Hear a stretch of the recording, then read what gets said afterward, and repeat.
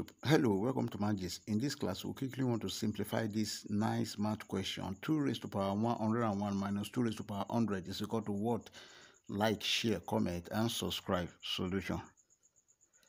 We have 2 raised to power 101 can be written as 2 raised to power 100 plus 1 minus 2 raised to power 100 take note of this rule that if you have a raised to power n plus m this is equal to a raised to power n multiplied by a raised to power m.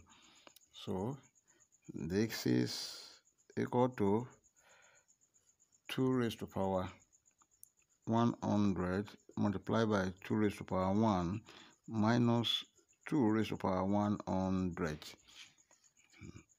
this is equal to 2 raised to power 100 is common. Let's bring it out bracket this divided by this we have 1 times 2 raised to power 1 is 2 raised to power 1 minus this divided by this 1 so this is equal to 2 raised to power 100 bracket 2 raised to power 1 is 2 minus 1 this is equal to 2 raised to power 100 bracket 2 minus 1 is 1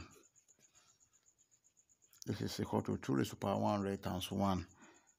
2 raised to power 100 and this is the final answer. Before you leave, like, share, comment and subscribe. Thank you.